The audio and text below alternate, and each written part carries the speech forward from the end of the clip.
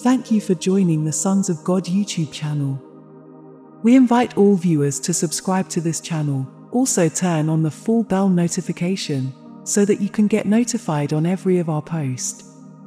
Brothers and sisters, in today's video, we will be sharing with everyone the prophecies of Archbishop Fulton Sheen. This prophecy is an eye-opener for many, and we are going to be saying it as we read it on the website of Mary, Refuge of Souls. In the name of the Father, and of the Son, and of the Holy Spirit. Amen. Our Father, who art in heaven, hallowed be thy name. Thy kingdom come, thy will be done on earth as it is in heaven. Give us this day our daily bread. Forgive us our debts as we forgive our debtors. Do not let us fall into temptation, but deliver us from all evil. Amen. Hail Mary, full of grace, the Lord is with thee. Blessed art thou amongst women, blessed is the fruit of thy womb, Jesus. Holy Mary, Mother of God, pray for us sinners now and at the hour of our death. Amen. Come, Holy Spirit, fill the heart of the faithful, enkindle in them the fire of divine love. Send forth your Spirit, and they shall be created, and you shall renew the face of the earth.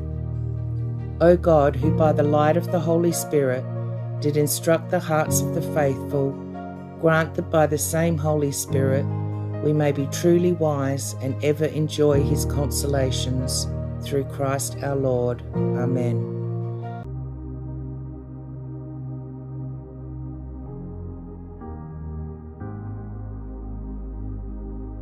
I came across a very intriguing prophecy attributed to the late and well respected Catholic Archbishop, Fulton Sheen.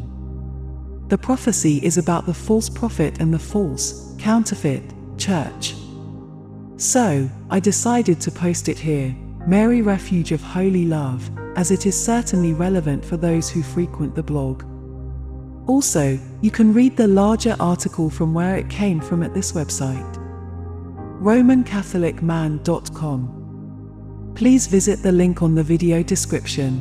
God bless. Here are the actual words of Archbishop Fulton Sheen from 1948. Here are the actual words of Archbishop Fulton Sheen from 1948. Satan will set up a counter church which will be the ape of the Catholic Church. It will have all the notes and characteristics of the church, but in reverse and emptied of its divine content.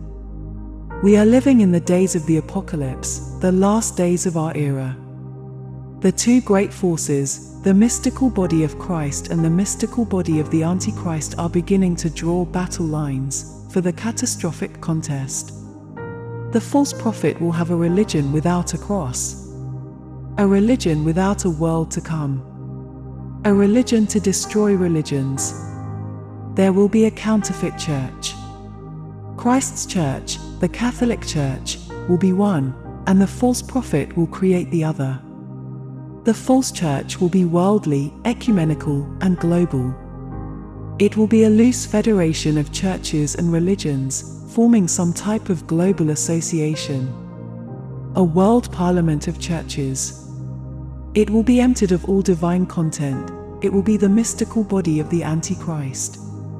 The mystical body on earth today will have its Judas Iscariot, and he will be the false prophet. Satan will recruit him from our bishops. The Antichrist will not be so called, otherwise, he would have no followers. He will not wear red tights, nor vomit sulfur, nor carry a trident, nor wave an arrowed tail as Mephistopheles in Faust. This masquerade has helped the devil convince men that he does not exist. When no man recognizes, the more power he exercises. God has defined himself as I am who I am, and the devil as I am who am not. Nowhere in sacred scripture do we find warrant for the popular myth of the devil as a buffoon who is dressed like the first red. Rather is he described as an angel fallen from heaven, as the prince of this world, whose business it is to tell us that there is no other world. His logic is simple if there is no heaven, there is no hell. If there is no hell, then there is no sin. If there is no sin, then there is no judge, and if there is no judgment, then evil is good and good is evil. But above all these descriptions, our Lord tells us that He will be so much like Himself, that He would deceive even the elect, and certainly, no devil ever seen in picture books could deceive even the elect. How will He come in this new age to win followers to His religion? The pre communist Russian belief is that He will come disguised as the great humanitarian.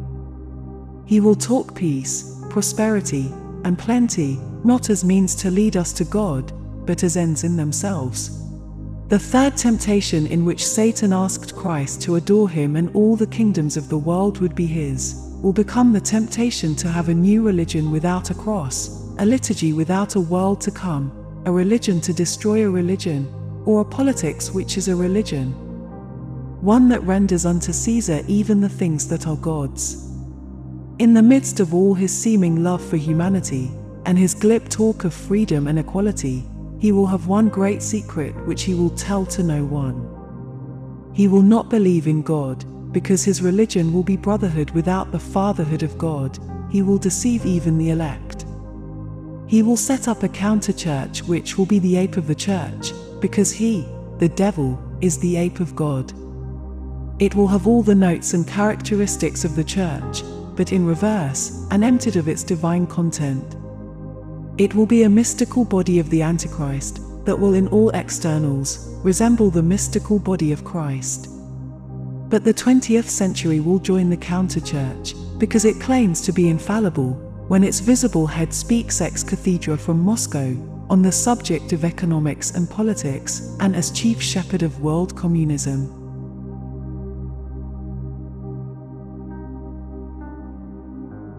This were the exact words of Archbishop Fulton Sheen. Brothers and sisters, let us be careful in following the multitudes of Christians who will support this counterfeit church. The devil is wise like a serpent, he will use our relatives, our friends, and families to try to lure us.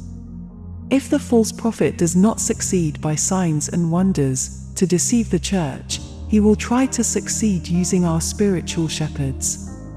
Let us look out for what is coming. Our very priests and bishops will try to convince us, we must discern for ourselves this time. We must ask the Holy Spirit to give us the grace of discernment. God bless you all.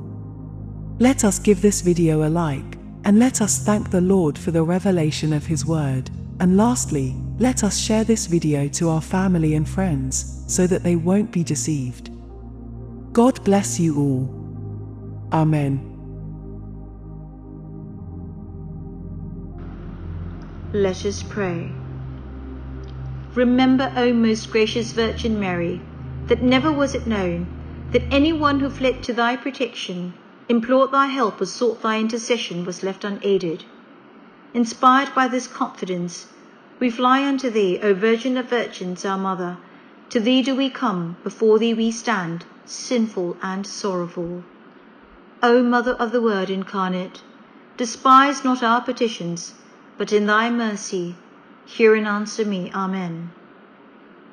O Saint Joseph, whose protection is so great, so strong, so prompt before the throne of God, we place in you all our interests and desires. O Saint Joseph, do assist us by your powerful intercession and obtain for us from your divine Son all spiritual blessings through Jesus Christ our Lord, so that having engaged here below your heavenly power, we may offer our thanksgiving and homage to the most loving of fathers. O Saint Joseph, we never weary contemplating you and Jesus asleep in your arms. We dare not approach while he reposes near your heart. Press him in our names and kiss his fine head for us, and ask him to return the kiss when we draw our dying breath. Saint Joseph, patron of departing souls, pray for me. Saint Michael the Archangel, defend us in battle, be our protection against the wickedness and snares of the devil. May God rebuke him, we humbly pray. And do thou, O Prince of the heavenly host, by the power of God, thrust into hell Satan, and all the evil spirits who wander through the world, seeking the ruin of souls. Amen.